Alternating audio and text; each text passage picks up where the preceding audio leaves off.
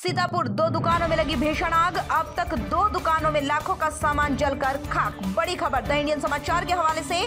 सीतापुर में भीषण आग लगी है, जहाँ लाखों का सामान जलकर खाक होने की सूचना है। वहीं सूचना पर पहुँची सिधौली कोतवाली पुलिस ने स्थानीय नागरिकों के साथ मिलकर शुरू किया आग बुझाने की कोशिश। सूचना देने के 45 मिनट बाद तक भी नहीं पहुँची फायर ब्रिगेड की टीम। कोतवाली सिधौली क्षेत्र का है मामला।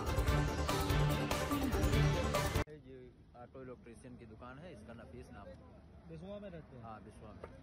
बाकी यहीं पे रहते थे ये जटुआ में रहते हैं। ये मोटर की की मोटर पार्ट की दुकान है जिस दुकान मोटर वोटर बनाते हैं। ठीक है नमस्कार मैं हूँ अंशु शर्मा और हमें उम्मीद है कि आपको ये वीडियो ज़रूर पसंद आया होगा।